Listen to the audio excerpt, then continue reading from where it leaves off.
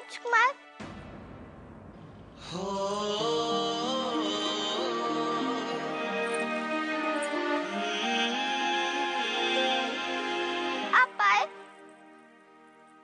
और हमसे बिना मिले ही जा रहे हैं।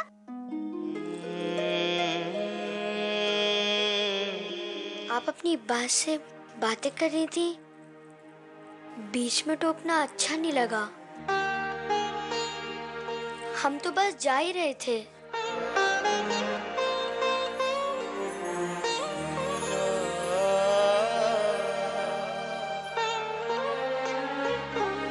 आँसू मत बहाइए राजकुमारी। दुख बांटने से कम होता है। परंतु आप तो सदा अपने हृदय में समेट के रखती हैं। हम आपका दुख कम तो नहीं कर सकते, परंतु बांट अवश्य सकते हैं। ठीक है। आज के बाद हम अपनी माँ के लिए कभी आँसू नहीं बहाएँगे पर इसलिए आपको एक वचन देना होगा। क्या? आपको हमेशा हमारा साथ देना होगा। राजकुमार भीमदेव वचन देता है कि वो सदैव आपका साथ देगा। हम चलते हैं।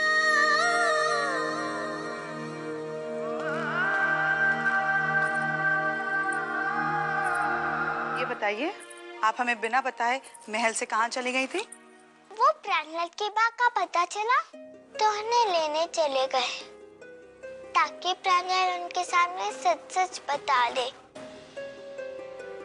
कल देखेगा वो महापंचायत में सब कुछ सच सच बता देगा।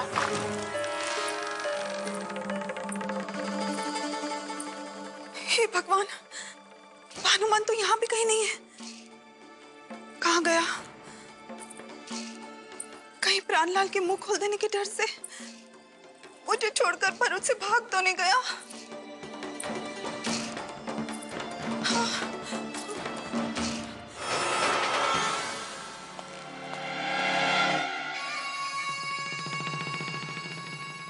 इंदु बहन भगवान का लाख लाख धन्यवाद है कि तुम मुझे छोड़कर नहीं गए। कैसी बात कर रहे हो इंदु बहन भला हम तुम्हें छोड़कर क्यों जाएँगे? मझधार में फंसा तो दिया। आखिर तुमने सोचा क्या है? कुछ तो कहो। अन्यथा कल प्राणलाल ने अगर महापंचायत में अपना मुँह खोला तो हमारे प्राण तो गए। कुछ करो ना मेरे भाई। मेरे जीवन की डोर अब तुम्हारे हाथ में है। बिंदु पे कल अभी दूर है। धैर्य रखो धैर्य। कैसे रखो धैर्य? बचाओ जो करना करो।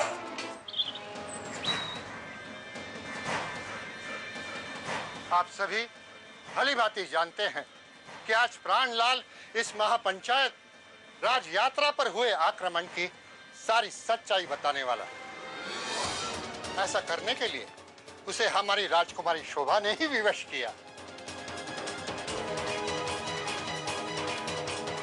हमारे महाराज, दद्दा चालुक्य चाहते हैं कि आज आप प्राणलाल के मुख से ही सारी सच्चाई सुन लें।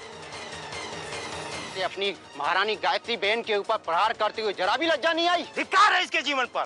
इसने सम्राट की राजयात्रा पर आक्रमण करके भरूच राज्य की नाक दबा दी।